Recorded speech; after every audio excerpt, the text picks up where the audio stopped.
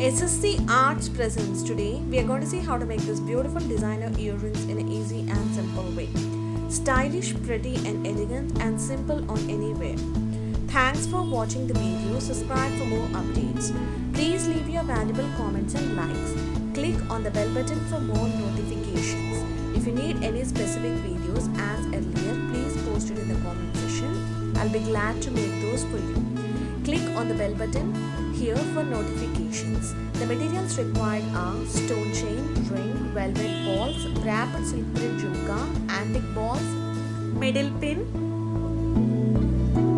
small bead to put inside the middle pin, glue and flat golden color beads, the flowerish golden color beads that I am using for decoration. Apply glue in the lower part of the silk thread jhumka. For making the silk thread jhumka, please see my initial videos. Now, nicely stick the stone chain over here. I'm using the red color stone chain because the combination has red and green.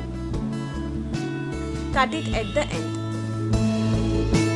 Now take the red color stone chain and cut it into 3 3 bits. 1 2 3 1 2 3. That is the bit that I have to cut.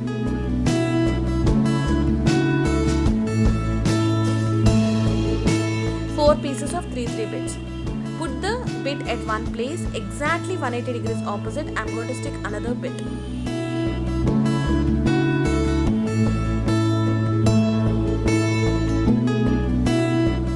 In between in the 90 degrees stick another bit.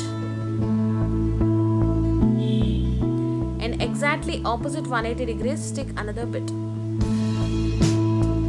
So each one is 90 degrees apart from each other.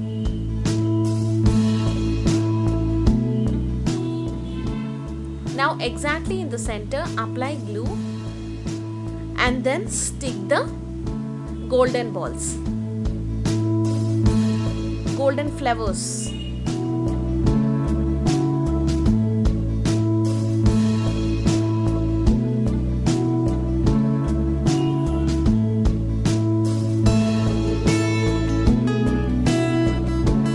My glue has not yet dried. I'm just adjusting that.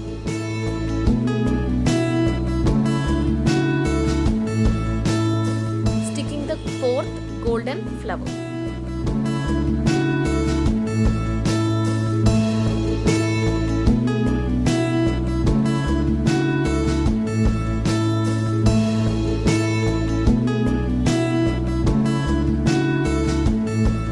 Let it dry for a little while. Take the middle pin, put the bead into it.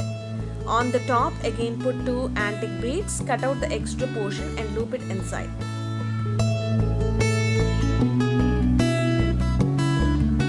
Press it nicely and tightly so that there is no gap in between. Flatten the ring and then now insert the velvet balls. I'm inserting three velvet balls.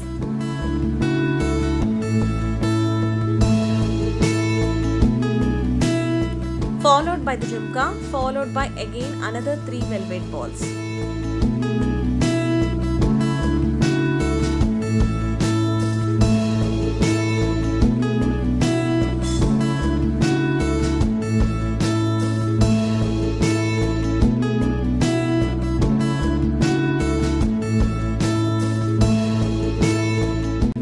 Have straightened it right, flip it backwards and then insert it back into the hook or the loop. The beautiful jhumka is ready.